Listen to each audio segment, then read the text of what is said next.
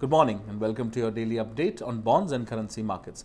Liquidity is the big theme this week. So, in line with its intention, the Reserve Bank of India has announced our open market operations to sell about 100 billion rupees of bonds on August 10th. This is a part of the routine liquidity mop-up is what RBI Deputy Governor Viral Acharya said over this weekend.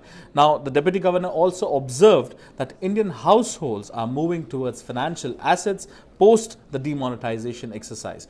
Uh, apart from this, one thing very important to take note of, it is said that RBI now plans on sending a proposal for a new liquidity tool to the government as it grapples with strong foreign inflows. Now, let me give you the rundown and the data on this. Overseas investors have bought 1.3 trillion rupees roughly 20.2 billion worth of local bonds so far in 2017 and stocks have also seen flows inflows of dollar 8.5 billion. And traders say that central bank has been regularly intervening in the forex market to mop up this inflow. So watch this space for more updates. Now talking of Forex, the big Fed FOMC meeting is due this week and there are so many factors to consider including the expanding probe on US President Donald Trump. So the dollar index is flat today while the South Korean won is strong. So we expect a higher opening for the rupee and a trade between 64.25 to 64.35 a dollar in the day. That's all from us. Have a good day.